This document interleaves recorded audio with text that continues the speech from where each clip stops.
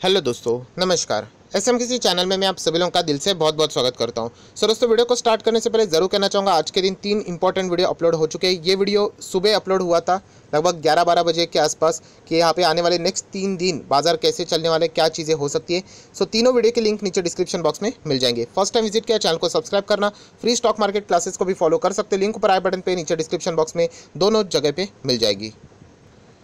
सो so, दोस्तों अभी हम लोग आ चुके हैं बिल्कुल हमारे नॉर्मल स्क्रीन के ऊपर। सो so, दोस्तों आप सभी लोगों को पता है बाज़ार कितना बड़ा समंदर है एंड डेली बेसिस के ऊपर देखा जाए तो बहुत सारी खबरें यहाँ पे आती रहती है। सो so, अगर हम लोग यहाँ पे बात करें तीन दिन तो बाज़ार यहाँ पे पूरी तरीके से बंद है जैसे मैं हमेशा कहता हूँ फ्रंट एंड में बट इसके पीछे जो बैक एंड रहता है वो तो चलने वाला है। एंड इसका इम्पैक्ट हम लोगों को मंडे ना सही ट्यूसडे के दिन यहाँ पे देखने को मिलने वाला है, जब बाज़ार ओपन होगा तब। सो दोस्तों, यहाँ पे हम लोग कह सकते हैं, सरकार के जो बड़े बड़े मिनिस्टर रहते हैं, वहाँ पे अपने अपने कुछ प्रोजेक्ट्स के रिलेटेड वो बातें बताते हैं। तो वैसे ही अभी हम लोग को एक और यहाँ पे न्यूज़ फ़िलहाल सामने आते हुए देखने को मिल रही है। एंड मैं वापस कह सकता हूँ, ये कोई सोर्सेज के द्वारा न्यूज़ नहीं है। ऑफिशियली जो मिनिस्टर है यूनियन मिनिस्टर है, उन्होंने ये बात यहाँ पे बोली है। सो देख लेते हैं एग्जैक्टली न्यूज़ किससे रिलेटेड है। तो सबसे पहले अगर हम लोग यहाँ पे बात करें तो दोस्तों आप देख सकते हैं a new India is in making with infrastructure which will be no less than that in the US and Europe in five years so अगर हम लोग यहाँ पे बात करें दोस्तों तो ये यूनियन मिनिस्टर नितिन गडकरी जी ने ये सारी बातें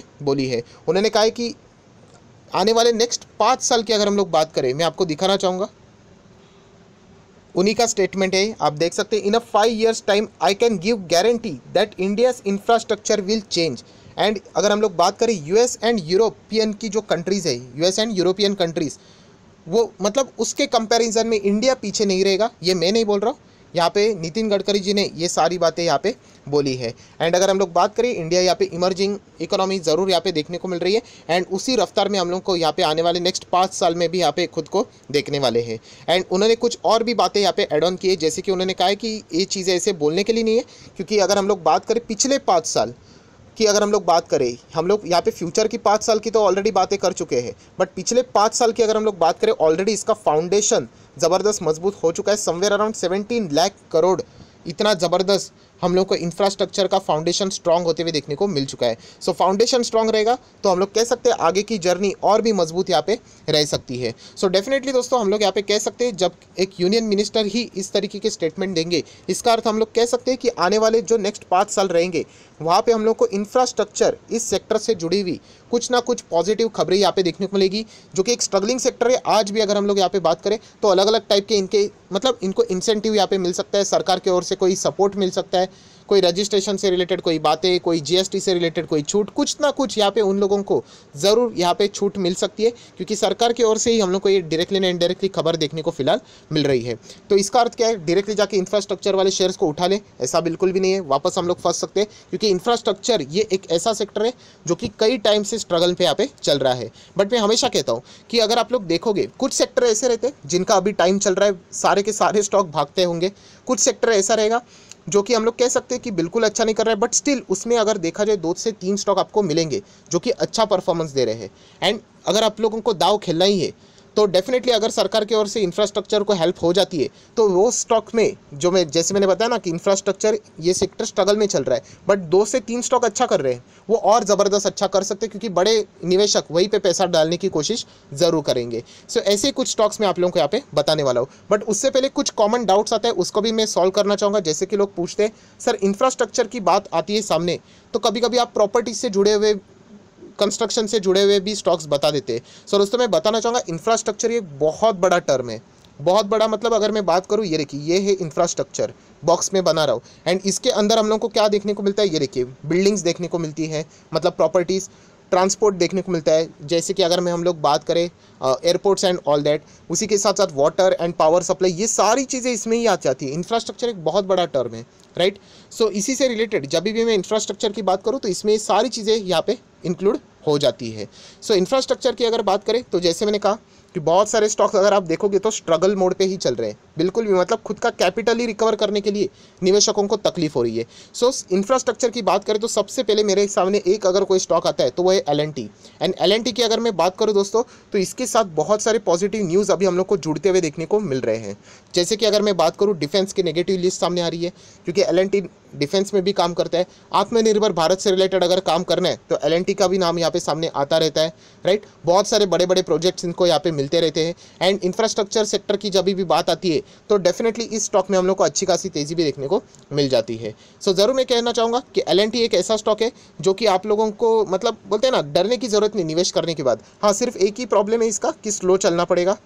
अनरियलिस्टिक एक्सपेक्टेशन यहाँ पे इस स्टॉक के साथ निवेश करने वालों को बिल्कुल लगानी नहीं चाहिए कि आज ये 1300 है कल जाके 1500 1700 जाएगा बिल्कुल भी नहीं।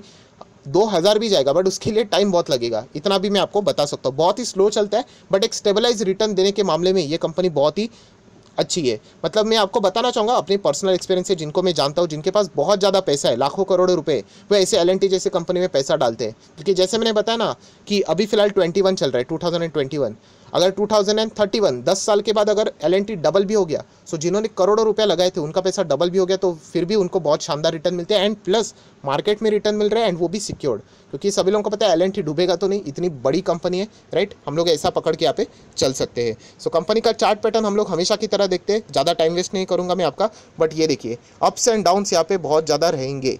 सो अगर आप लोगों में हिम्मत है, टेस्ट क्रिकेट अगर आपको पसंद है मतलब लंबी अवधि की पारी खेलना अगर आपको पसंद है, तभी आप एलएनटी के बारे में विचार कर सकते हो, वरना आप एलएनटी को इग्नोर करके चलोगे तो भी चल जाएगा। मतलब मुझे बुरा लगता है जब लोग एलएनटी में निवेश करते हैं बोलते हैं कि, सर, अभी हम लोग लॉस में बेच दे। बिल्कुल भी नहीं। आपने जो स्टॉक सिलेक्ट किया वो बहुत ही ज़बरदस्त स्टॉक है। थर्टी सिक्स परसेंट की डिलीवरीज ट्वेंटी सिक्स मार्च को देखने को मिल रही है। बाकी पैरामीटर्स हम लोग नहीं देखेंगे। ऑलरेडी हम लोगों ने बहुत बार कवर कर लिया है। सो दोस्तों इंफ्रास्ट्रक्चर की बात सामने आ रही है। जैसे मैंने आपको बताया ना कि इंफ्रास्ट्रक्चर ये बहुत बड़ा टर्म है। इसमें अगर हम लोग बात करें तो प्रॉपर्टीज़ भी आती है बिल्डिंग्स भी आते हैं। जैसे मैंने आपको शुरुआत में ही दिखाया कि नहीं, रुको एक बार दिखा देता हूँ, ये देखिए। यहाँ पे आप देख सकते हो एग्जाम्पल्स में बिल्डिंग्स भी है मतलब कंस्ट्रक्शन वाले प्रॉपर्टीज़ वाले भी ये चीज़ें आ जाती है। एंड एलएनटी के बारे में एक और इंपॉर्टेंट इन्फॉर्मेशन दिखाना चाहूँगा। बहुत सारे लोग पूछते भी है जेन्यून सवाल है, कोई बात, बुरी बात नहीं है कि सर आप एलएनटी की बात करते हो तो इंफ्रास्ट्रक्चर को क्यों कवर करते हो? आप यहाँ पे देख सकते हो।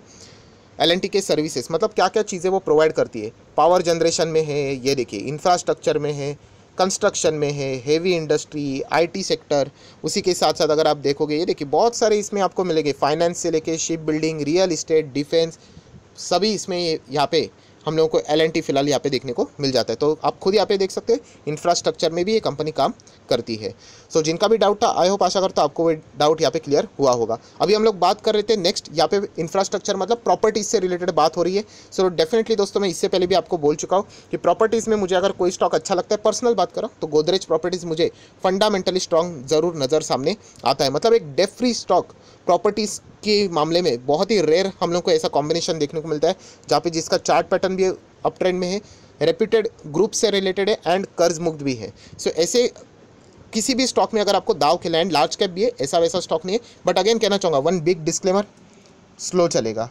सो आप बोलोगे सर स्लो ही चलेगा तो फिर फ़ायदा क्या? हम लोग बाकी स्टॉक में पैसा लगेंगे ऐसा नहीं। कभी कभी ऐसा हो जाता है कि इंफ्रास्ट्रक्चर बहुत लो चल रहे हैं ना तो बड़ा पैसा वहाँ पे भी लग सकता है। तो इसीलिए बहुत सारे लोग क्या करते हैं टॉप क्वालिटी वाले स्टॉक में पैसा लगा के छोड़ देते हैं। सो इसीलिए ये सारी बातें मैं आपको बता रहा हूँ। मे, मेरी बातों को एज ए रिकमेंडेशन मत ले लेना बट मैं इतना कह सकता हूँ ये दोनों स्टॉक बहुत ही गजब के फ्यूचर में इसको ज़बरदस्त फ़ायदा यहाँ पे हो सकता है।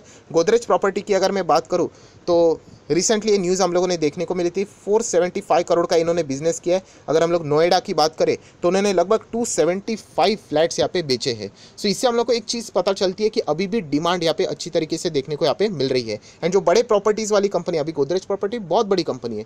तो ऐसी कंपनी को कभी भी दिक्कतें नहीं होती। फंड रेजिंग के लिए भी अगर कल ये क्यूआईपी लेके आएँगे तो आराम से यहाँ पे इवन दो ये कंस्ट्रक्शन से रिलेटेड काम करते हैं प्रॉपर्टी से रिलेटेड फिर भी यहाँ पे लोग पैसा लगाने के लिए रेडी हो जाते हैं। सो ये इस कंपनी का बहुत बड़ा एडवांटेज भी है। सो गोदरेज प्रॉपर्टी की बात करें फॉर्मेलिटीज़ के हिसाब से 26 मार्च को 28 परसेंट की डिलीवरीज देखने को मिल रही है। रिसेंटली हाई की बात करें फ़र्स्ट मार्च को 1500 तक ये स्टॉक यहाँ पे जा चुका था। सो so, दोस्तों इतना ही कहना चाहूँगा जो नितिन गडकरी जी ने यहाँ पे बातें बोली है कि आने वाले नेक्स्ट पाँच साल यहाँ पे इंफ्रास्ट्रक्चर के यहाँ पे रहने वाले हैं। And US and European countries की अगर हम लोग बात करें उनका जो इंफ्रास्ट्रक्चर है सिमिलर उसी वे का इंडिया का भी इंफ्रास्ट्रक्चर यहाँ पे रहेगा। तो इसमें अगर आप इस न्यूज़ को पकड़कर अगर कोई रोल प्ले करना चाहते हो तो मुझे ऐसा लगता है कि इन दो स्टॉक्स को आप लोगों ने अपने रडार पे ज़रूर सेट करके यहाँ पे रखना चाहिए। मैं वापस कह रहा हूँ आप लोगों को इंफ्रास्ट्रक्चर बहुत ही स्ट्रगलिंग सेक्टर है। सो ज़रूर कोई भी कदम उठाने से पहले सोच समझ कर यहाँ पे कदम उठा लेना। सो आप आशा करता हूँ आपको वीडियो पसंद आया होगा तो ज़रूर लाइक एंड शेयर कर देना। So that's thank you very much दोस्तों. We will be meeting our next day तब तक के लिए बाय बाय